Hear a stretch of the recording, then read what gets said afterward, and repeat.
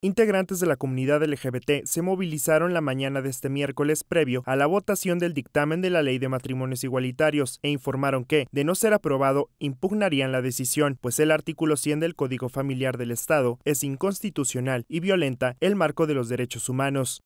No adecuar la ley generará, ahora sí, de manera deliberada, un acto de discriminación y vulneración de derechos.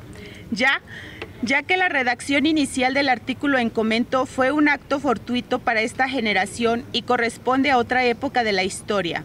Advirtieron que llegarán hasta la Suprema Corte de Justicia de la Nación e incluso hasta instancias internacionales para que esta decisión no sea definitiva. Sin embargo, reconocieron que el hecho de que el dictamen llegara al Pleno representa un gran avance en la materia.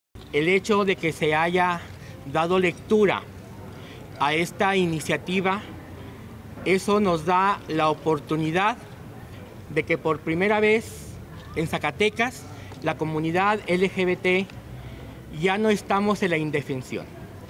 Ya, ya tenemos motivos para poder llegar a otras instancias. Para Sistema Informativo CISART, Andros Silva.